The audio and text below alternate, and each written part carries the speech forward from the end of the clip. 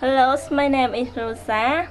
Now I am 22 years old, and I want to uh, I want to say hello to Tim, Hula, Daria, and Stell, Bessie, and uh, now I am studying to be a nurse, and this is the uh, the last year for me at my school, and I will training uh, have a last the last training on first March and I will fin finish it on May and I will be have a job uh, if I finish from my school.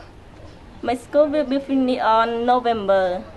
And I will have a good job to make my life better than before. And thank you so much for all of them that support me. And my family also. Yes, that's all. Thank you.